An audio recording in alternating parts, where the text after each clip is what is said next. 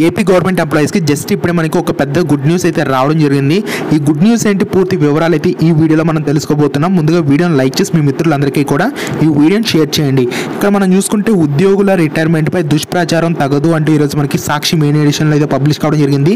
ప్రభుత్వ ఉద్యోగుల రిటైర్మెంట్ వయసు యాభై ఏడు ఏళ్ళ ఏళ్ళకు తగ్గిస్తారని చెప్పి సోషల్ మీడియాలో దుష్ప్రచారం చేస్తున్న వారిపై చర్యలు తీసుకోవాలని చెప్పి ఏపీ ఎస్సీ ఎస్టీ ఉపాధ్యాయ సంఘం ప్రభుత్వాన్ని కోరింది.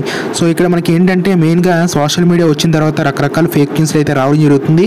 ముఖ్యంగా దాంట్లో భాగంగా మనకి ఎవరైతే గవర్నమెంట్ జాబ్ హోల్డర్స్ ఉన్నారో వాళ్ళందరికీ కూడా యాభై ఏడు ఏళ్ళ వరకు ఈ యొక్క రిటైర్మెంట్ వయసు అయితే తగ్గిస్తామంటూ మనకు ఒక ఫేక్ న్యూస్ అయితే రావడం జరిగిందనమాట.